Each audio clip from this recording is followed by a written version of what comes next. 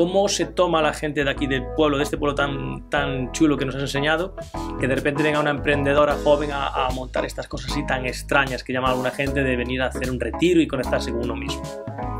Pues fíjate que, yo al principio yo me hacía esa misma pregunta, ¿no? Yo de hecho cuando llegamos aquí hace unos tres años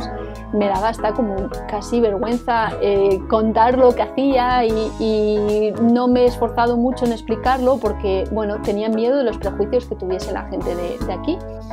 Y sin embargo, eh, me estoy dando cuenta con el paso del tiempo que ellos están ahí, bueno, eh, están deseando ver que yo haga actividades, que cada vez que hago alguna propuesta o digo que cuento algo de lo que estoy trabajando, ellos son los primeros en que, en que bueno, vienen a apoyarme, en el que si, por ejemplo, ahora para el retiro, eh, bueno, pues están las, las, infraestructuras, está la antigua escuela de, de, aquí, que antes era, pues eso, la escuela donde los niños de aquí